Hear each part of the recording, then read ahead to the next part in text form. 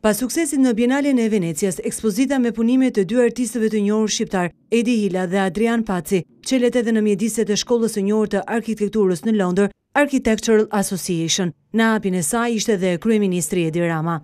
Drejtuesit e shkollës e përkthejnë praninë e kësaj ekspozite si një urë bashkëpunimi mes dy vendeve, edhe në të ardhmen, për t'u folur njerëzve me gjuhën e artit.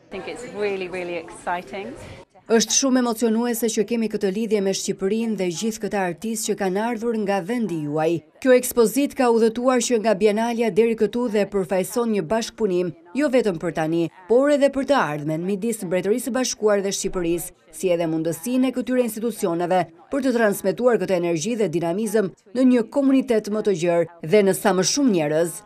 Jonida Turani, kuratore e punimeve të Hilës e Pacit në pikturë, video dhe instalacion, u shpreh se ekspozita u ndoq me kuriozitet nga studentët, pedagogët dhe publiku londinez. Ekspozita u prit mjaft mirë, pati shumë prezencë studentësh, profesorësh edhe shtypi i huaj ka pasur interes të veçantë për këtë ekspozitë. Hapja e ekspozitës në një nga shkollat më të rëndësishme të arkitekturës në Evropë, nga ku kanë dalë edhe emra të mëdhenj, u pa si e rëndësishme në rishikimin e mjeteve shprehëse, Mes gjeneratash të ndryshme artistësh nga Shqipëria.